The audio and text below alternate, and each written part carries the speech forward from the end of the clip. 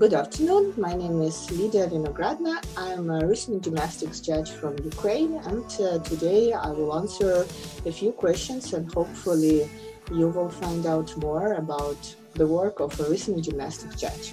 Hey everybody, I hope you find you well.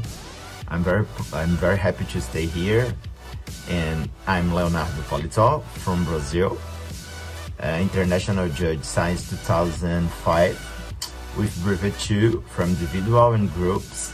And actually, I'm the vice coordinator of National Technical Committee from Brazil and director of Judges of Brazilian Federation. Hello, Rhythmic Gymnastics fans. I'm Canaan from Hong Kong, and I'm an FIG Brevet judge, category 3 in men's artistic gymnastics. Category 4 in women's artistic gymnastics and rhythmic gymnastics individual and group. Hi everyone, this is Marta Pagnini and I'm the former captain of the Italian national team.